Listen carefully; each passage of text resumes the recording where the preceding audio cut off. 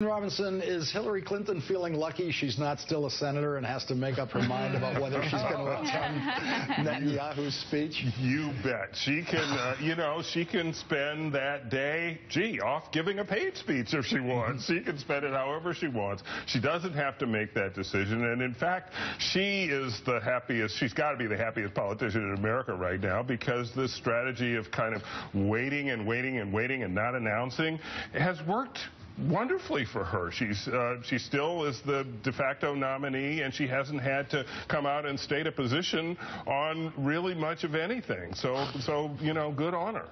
Yeah, and reporters aren't finding opportunities to chase her down because she's not out there in the streets of yeah. New Hampshire or exactly. Iowa. and right. let's take a look at the latest poll.